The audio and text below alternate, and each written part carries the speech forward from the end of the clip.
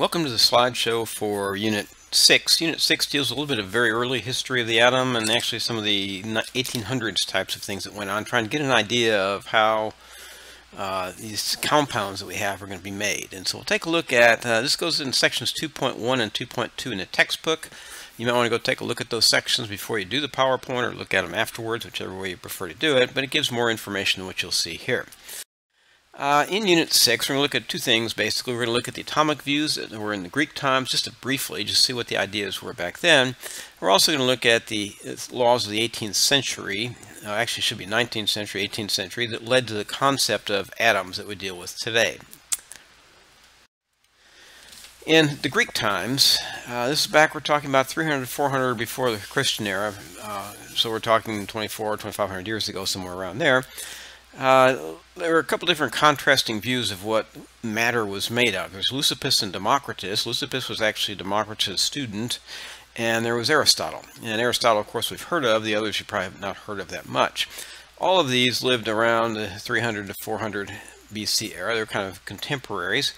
Uh, Leucippus and Democritus favored the view that matter was made out of incredibly small particles called atoms whereas Aristotle believed that matter was continuous. There were no small particles to it. And it's sort of like if you stand back and look over a, a, sandy beach from a distance, you can't tell for sure what that sandy beach is made of, but as you get closer and closer and closer, you can see the particulate pieces of sand uh, on that beach. And so the view of uh, Leucippus and Democritus is more attuned with what we actually see on a beach, if you think about it, than what that of Aristotle was. As you get smaller and smaller in matter, and you look at it, you'll start to see that we're going to find out that it also is made up of smaller particles just like uh, a beach is made out of smaller particles of sand. Um, then we come up into the 1700s. Let's say it is the 18th century. Excuse me. Uh, Antoine Lavoisier uh, was doing a series of experiments. He found that in any experiment, any chemical change uh, that, that happened, the changing anything to anything, that the amount of matter that you have, the mass of matter you had to start with, is conserved. If you start with 50 grams of stuff, you end up with 50 grams of stuff. It may all be different. May have gone different places, maybe here, maybe there, but if you did all of your accounting well, in the end of it, you find out that your mass is conserved. So this is this is actually summarized what we call the law of conservation of mass. You've probably heard of that one. It's not very hard to figure out. It is no matter what you do, you don't make or destroy matter. Is it going to be there in the end? And so the statement of it briefly looks like this. Matter is neither created nor destroyed in a chemical change. And it's also neither created or destroyed what we call physical change, which will come up later. So let's take a, let's take a look at this on the next slide. My zinc sulfide over here has a composition that has zinc and sulfur in a ratio of like 35 to 17.1. Any sample of zinc sulfide will have that same ratio in it of zinc to sulfur. Well, so he summarizes and said, well, a compound always contains the same elements in certain definite proportions and in no other combination. So let's go back and visit zinc sulfide again. And we do that, up here is the one that looks familiar. This is 35 grams of zinc. This is 17.1 grams of sulfur. They produce 52.1 grams of zinc sulfide.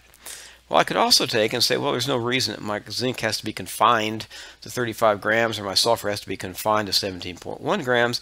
Let's do this. Let's keep my 35 grams here and let's put make it 50 grams of sulfur and see what happens in that case. What happens in that case is my 35 grams of zinc react with my 50 grams of sulfur to make, once again, 52.1 grams of zinc sulfide, just like we had up here. But now I have 32.9 grams of sulfur left over. Only 17.1 grams reacted. That's all it could take. So this zinc sulfide here has the exact same composition as zinc sulfide here. It doesn't matter how much sulfur, how much zinc I put in, I get that same compound. I just have something left over. And over here, if I start with 45 grams of zinc, so now I have more zinc in it, and over on this side, I take and I look at it and say, okay, I'm going to find 17.1 grams again.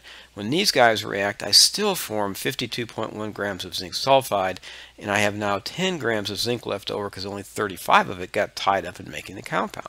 And so this is the law of definite proportions. These compounds have a definite, uh, a definite ratio in which they go together.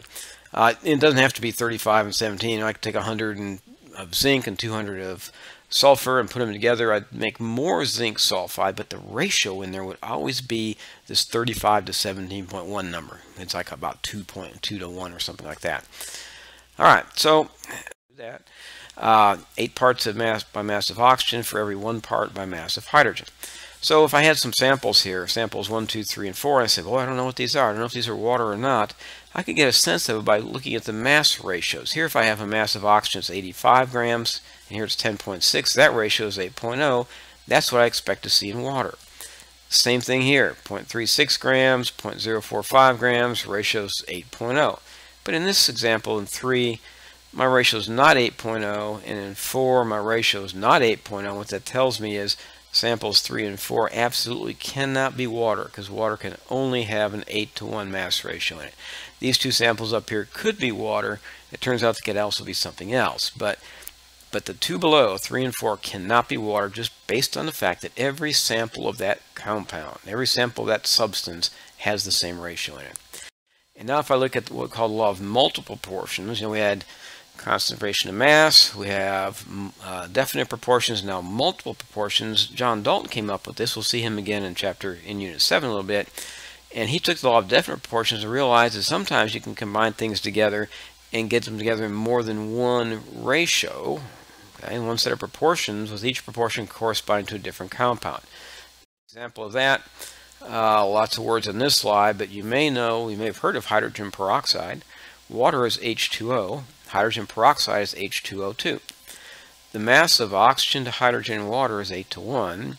The mass of uh, oxygen to water and hydrogen peroxide is 16 to 1. So water is going to be this 8 to 1 thing again. Hydrogen peroxide is going to be 16 to 1. They have that, they, can combine in two ratios then, two of these whole number ratios, and these are two very distinct compounds. Hydrogen peroxide is a very different animal than what water is. Sorry, it's not an animal. Different substance than what water is going to be. And so this ultimately, this kind of fixed mass ratio idea ultimately led to John Dalton's atomic theory, which will be our topic in Unit 7.